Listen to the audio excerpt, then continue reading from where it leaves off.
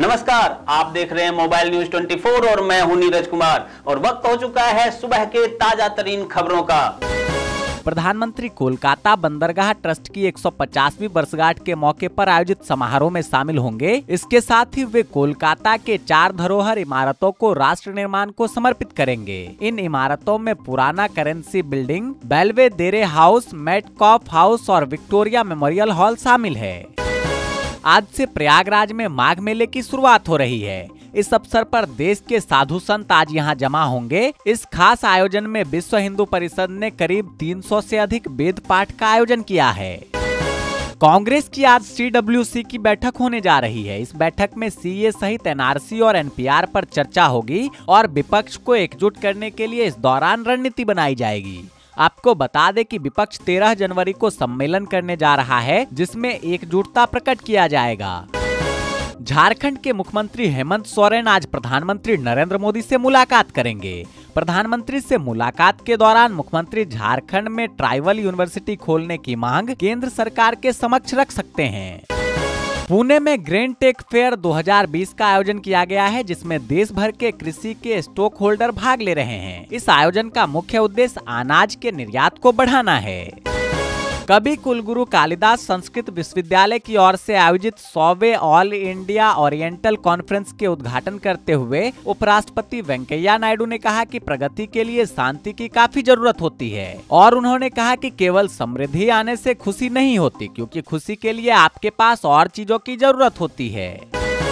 JNU छात्र संघ ने कहा कि वह कुलपति एम जगदीश कुमार को हटाए जाने की अपनी मांग पर कायम है, लेकिन फ़ीस वृद्धि को लेकर सहमति बनेगी या नहीं, इस पर बाद में फैसला लिया जाएगा। छात्र संघ अध्यक्ष आईसी घोष ने मानव संसाधन विकास मंत्रालय के अधिकारियों से मुलाकात के बाद यह बात कही। City of joy IDBI federal life insurance Kolkata full marathon के एक और संस्करण के लिए तैयार है। दो फरवरी को होने वाले इस मैराथन के इस साल के संस्करण के लिए अब तक कुल 9000 पंजीकरण हो चुका है और यह संख्या लगातार बढ़ता जा रहा है। अखिल भारतीय फुटबॉल महासंघ ने कहा कि महिला लीग 2019-20 का अंतिम दौर 24 जनवरी से बेंगलुरु में शुरू होगा। टूर्नामेंट में इस बार देश की 12 टीमें भारतीय महिला क्लब फुटबॉल के शीर्ष पुरस्कार के लिए ज़ोर आजमाइश करेगी। दिल्ली बीजेपी ने 15 सदस्य चुनाव कमेटी का ऐलान कर दिया है, जिसमें दिल्ली बीजेपी के अध्यक्ष मनोज तिवारी भी शामिल हैं। तिवारी के अलावा कमेटी में अनिल जैन, दुष्यंत गौतम और आरपी सिंह शामिल हैं। चुनाव से संबंधित काम के लिए 35 पैनल बनाए गए हैं गौरतलब है कि 11 फरवरी को दिल्ली चुनाव के परिणाम घोषित किए जाएँगे विदेश मंत्री एस जयशंकर ने श्रीलंका के विदेश मंत्री दिनेश गुणवर्धन के साथ मछुआरों के मामले सहित विभिन्न विषयों पर चर्चा की। तीन दिवसीय यात्रा पर नई दिल्ली आए श्रीलंकाई विदेश मंत्री ने कहा कि श्रीलंका द्वारा पकड़ी गई सभी बावन नौकाओं को छोड़ा जा रहा है। शुक्रवार को विश्व हिंदी दिवस पर कांग्रेस नेता शशि थरूर ने मज़ेदार ट्वीट किया, जिसकी खूब चर्चा हो रही है। उन्होंने अपने ट्वीट में लिखा कि, जब से तेरा मज़ा चखा हिंदी, इश्क में तेरे खो गया थरूर, अब तो इंग्लिश भी सोचती होगी, ये तो हिंदी का हो गया है थरूर। आपको बता दे कि अपने अंग्रेज़ी ज्ञान के लिए पूर्व केंद्रीय मंत्री शशि थरूर जाने जाते हैं। आर्थिक मोर्चे पर सरकार के लिए एक और सकारात्मक खबर आई है। तीन महीने तक लगातार गिरावट के बाद औद्योगिक उत्पादन सूचकांक नवंबर में 1.8 प्रतिशत बढ़ा है। मैन्युफैक्चरिंग सेक्टर में तेज़ी के दम पर यह आंकड़ा सुधरा है। एक साल पहले इसी महीने इसमें 0.2 प्रतिशत की वृद्धि हुई थी। तेरह जनवरी को दिल्ली के होटल हयात में सुनील कांत मुंजाल द्वारा लिखित book the making of Hero का विमोचन पूर्व प्रधानमंत्री डॉक्टर मनमोहन सिंह करेंगे। इस मौके पर संगीता जेटली, श्रीमती संतोष मुंजाल भी उपस्थित रहेंगी। भाजपा के महासचिव राम माधव ने कहा कि अनुच्छेद 370 के अधिकतर प्रावधानों को खत्म करने के बाद जम्मू कश्मीर के अधिकतर नेताओं को छोड़ दिया गया है और शेष 20-25 नेताओं को लेकर उम्मीद है कि अगले कुछ हफ़्ते में उन्हें भी रिहा कर दिया जाएगा आपको बता दें कि 5 अगस्त को जम्मू कश्मीर में अनुच्छेद 370 और 35 से हटाया गया था वरिष्ठ समाजवादी नेता शरद यादव ने कहा कि सीए एनआरसी और एनपीआर एक दूसरे से अलग नहीं, बल्कि तीनों एक ही हैं। शरद यादव ने लोजद की राष्ट्रीय कार्यकारिणी की बैठक को संबोधित करते हुए यह बात कही। साथ ही उन्होंने कहा कि सरकार की यह दलील गलत है कि सीए और एनआरसी अलग अलग है। कांग्रेस महासचिव प्रियंका गांधी ने कहा कि कांग्रेस की सरकार आई तो सीए और एनआरसी को खत्म कर देंगे। उन्होंने कहा कि आकलन को लेकर प्रतिक्रिया गांधीवादी तरीके से होना चाहिए। आपको बता दें कि प्रियंका गांधी वाराणसी के दौरे पर थी, जहाँ बीएचयू के छात्रों से मुलाकात की और उन्हें जीत की बधाई दी। पश्चिम बंगाल के राज्यपाल जगदीप धनखड़ ने कहा कि वह ममता बनर्जी के साथ हर मुद्दे पर बातचीत करने को तैयार हैं। राज्यपाल ने कहा कि मेरा मानना है कि संविधान में बातचीत ही एकमात्र रास्ता है मैं मुख्यमंत्री के साथ राजभवन या राज्य सचिवालय में या फिर किसी कॉफ़ी हाउस में कहीं भी किसी भी मुद्दे पर बातचीत करने को तैयार हूँ मध्य प्रदेश के मुख्यमंत्री कमलनाथ केंद्र सरकार के सीए को राज्य में लागू न किए जाने की बात पर अडिग हैं। कमलनाथ का कहना है कि कानून बनाते समय और बड़े फैसले के वक्त सर्वसम्मति के प्रयास होते हैं, मगर सीए के लिए सर्वसम्मति नहीं, बल्कि सहमति का सहारा लिया गया।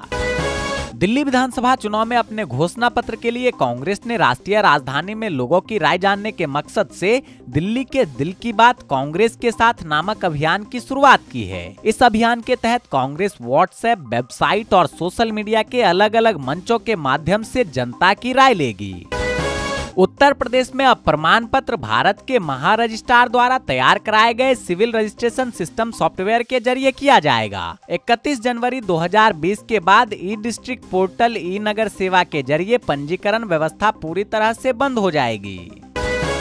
झारखंड के मुख्यमंत्री हेमंत सोरेन ओडिशा सरकार की कालिया योजना के तर्ज पर राज्य के लघु सीमांत किसानों और भूमिहीन खेतीहर मजदूरों को वित्तीय सहायता प्रदान करने की योजना बना रही है।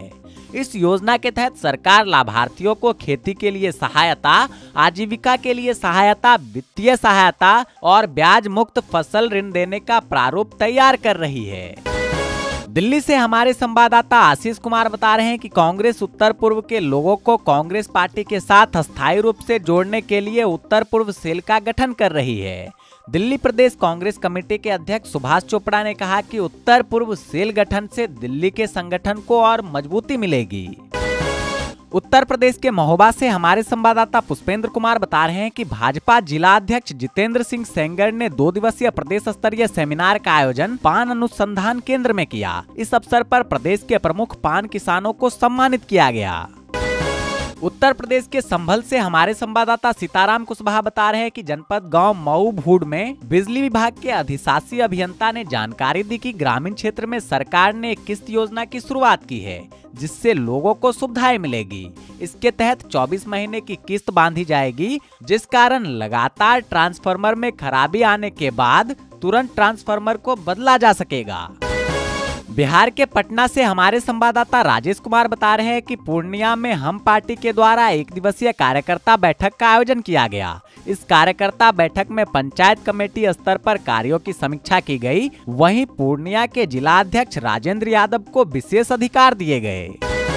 बिहार के पटना से हमारे संवाददाता राजेश कुमार बता रहे हैं कि इंडियन वाटर वर्क एसोसिएशन का बावनवा वार्षिक सम्मेलन नेशनल इंस्टीट्यूट ऑफ़ टेक्नोलॉजी परिसर में आज आयोजन किया गया। दो दिनों तक चलने वाले इस वार्षिक सम्मेलन का उद्घाटन बिहार के राज्यपाल ने किया। बिहार में सिल्क और हैंडलूम उद्योग को बाज़ार देने के लिए उद्योग विभाग ने हैंडलूम हाट बनाने का निर्णय लिया है। राज्य सरकार द्वारा गया, मुजफ्फरपुर, छपरा और भागलपुर में खादी पार्क का निर्माण किया जाएगा। इस आशय की जानकारी उद्योग विभाग के मंत्री श्याम रजक ने दी।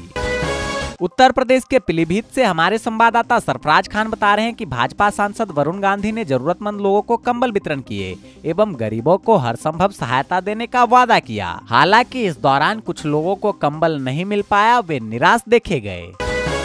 तो ये थी सुबह के ताज़ा तरीन खबरें, और ऐसे ही खबरों से अपडेट रहने के लिए आप हमारे चैनल को अभी सब्सक्राइब कर लीजिए, और सब्सक्राइब बटन के साथ में जो नोटिफिकेशन बेल है, घंटी है, उसे भी दबा दीजिए, ताकि देश और दुनिया के तमाम खबरों से आप रह सकें अपडेट।